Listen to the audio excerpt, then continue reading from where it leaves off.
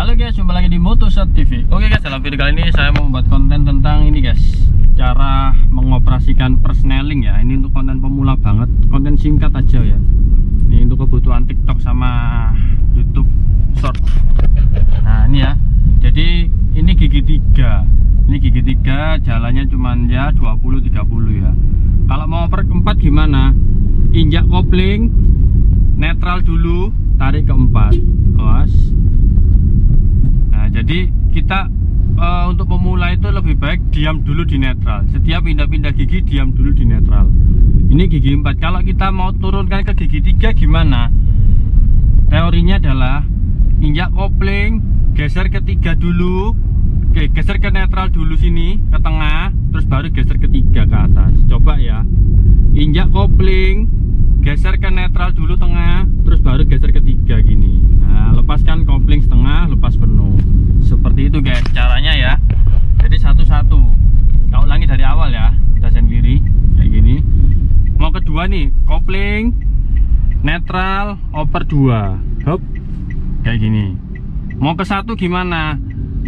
Si dari dua gini ya. Dari dua mau ke satu gimana? Netral dulu ke tengah terus oper satu gini.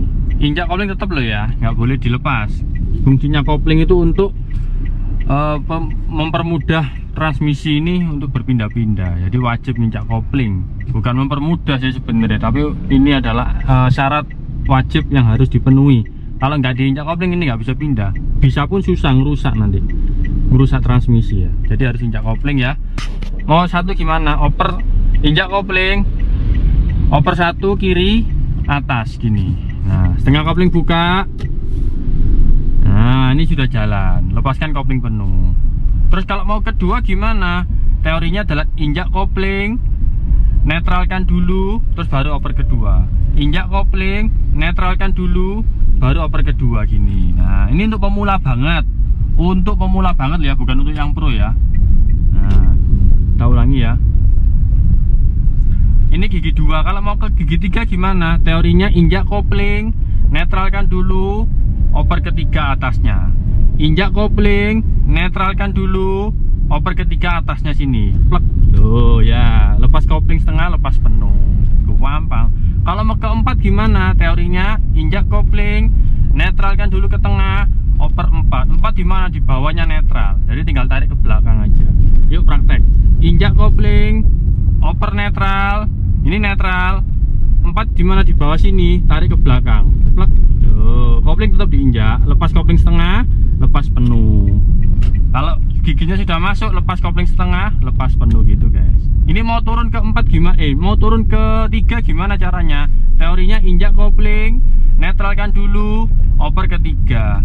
Injak kopling, netralkan dulu, tiganya di atas kita, oper ketiga gini. Nice, lepas kopling setengah, tambah gas. Seperti itu guys ini kalau mau kedua gimana? Teorinya adalah injak kopling netralkan dulu. Gini netral oper kedua. Sudah masuk lepaskan kopling setengah tambah gas. Nah kalau mau ketiga gimana? Injak kopling netralkan dulu oper tiga tiga di atas. Sudah masuk lepaskan setengah kopling tambah gas. Seperti itu guys. Kalau mau keempat gimana? Teorinya adalah injak kopling netralkan dulu terus oper keempat sudah empat masuk lepaskan setengah kopling lepas penuh. Seperti itu guys. Ya wes gitu dulu guys. Ini untuk video pemula banget guys. Soalnya kita lihat di tiktok kok banyak yang pengen tahu gitu ya caranya ngoper-ngoper gigi ya tak buatkan ini ya. Video pendek cuma 5 menit paling ya. Awas. Kopling netral oper 2 setengah kopling buka gas. Seperti itu guys. Ini kalau sudah lancar ya. Kalau belum mahir ya santai-santai dulu. Kalau sudah lancar gini nggak perlu ke netral ya sen kanan. Nah kayak gini ya. Langsung aja. Oper 3 nah langsung aja nggak usah mampir netral dulu nggak usah berhenti di netral terlalu lama. Kayak gini oper 4 set set. Oh ya. Sen kanan. Pas. Ini oper mau ketiga ya. Kopling oper 3 sehingga kopling buka gas. Lah jadi langsung kalau lancar nggak usah mampir netral terlalu lama langsung tarik bablas. Nah gini loh. Nah kalau mau ketiga gimana? Langsung aja kopling dorong bablas. Nah seperti itu guys.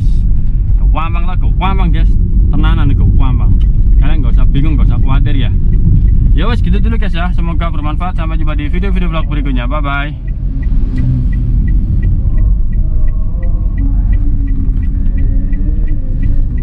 netral hazard